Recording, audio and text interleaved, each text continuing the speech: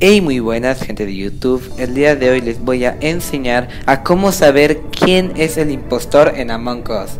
Esto será para el mapa de The Scaled, que bueno es el mapa más jugado de este juego y el favorito de muchos, por lo que este truco les servirá para la mayoría de las partidas, así que bueno, comencemos.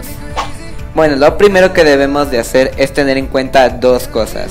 La primera es que el impostor tratará de matar a los tripulantes en lugares escondidos o muy ocultos, esto porque reduce la posibilidad de que otro jugador lo encuentre en plena acción mm. de la kill.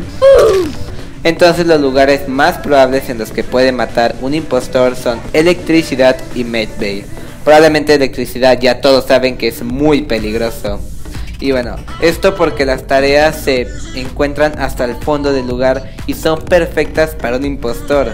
Además que tienen ventilación, lo que nos lleva al siguiente punto, que es que el impostor tratará de escapar por la ventilación para evitar encontrarse a alguien saliendo de ahí y pues bueno, se dé cuenta de que él es el impostor, así que la mayoría de las veces el impostor tratará de alejarse lo más posible del lugar por medio de la ventilación. Ahora que ya tenemos en cuenta esos dos puntos, ¿cómo podemos saber quién es el impostor? Pues fácil, si alguien encontró un cuerpo en electricidad, medbay o seguridad, lo más probable es que el impostor esté dentro de una de esas áreas. Esto porque si el cadáver es encontrado fresco, en buen estado, pues el impostor no se pudo haber alejado tanto, no le dio tiempo. Y si llega a decir estaba en y menciona uno de estos lugares, pero no en el que está el cadáver, es muy probable que lo haga para decir, sí, yo estaba cerca del área donde estaba el cadáver, pero no en el cuarto. Y más si es que sale del cuarto para poder incorporarse a un grupo de tripulantes y haga de que él nunca estuvo junto al cadáver e igual se sorprenda cuando reporten el cuerpo.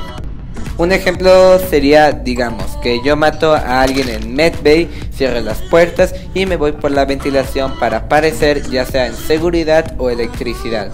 Digamos que escojo electricidad y salgo de ahí. Se vuelven a abrir las puertas de Medbay oh sorpresa, un cuerpo ha sido encontrado. Todos preguntan dónde y pues yo digo que yo estaba en electricidad para quitarme las sospechas. Así es como normalmente actúa un impostor. Así que si somos tripulantes, pues tenemos que pensar. Si el cuerpo fue encontrado en Medbay y él dice que estaba en electricidad y hay un túnel de ventilación que da exactamente hacia allá, eso quiere decir que él es el culpable o por lo menos muy sospechoso. Porque quiero aclarar que este truco no va a funcionar el 100% de las veces, pero sí es un truco que yo utilizo mucho para descubrir al impostor. Ahora, pasemos a otro lugar como ejemplo. Digamos que matan a alguien en uno de los motores, en este caso el motor superior, y yo o alguien ve que alguien sale de la sala de reactor y se une con esa persona, y yo un cuerpo ha sido encontrado. En este caso el impostor va a usar su carta de que él estaba en el reactor y estuvo con alguien para luego darse cuenta, entre comillas, que hay un cuerpo en el motor superior.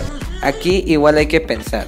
Si el cadáver estaba en el motor superior y hay un ducto de ventilación que da hacia el reactor, pues claramente el impostor tuvo que ser alguien que estaba en el reactor o cerca de este hace unos momentos y que se unió con alguien para no parecer aún más sospechoso.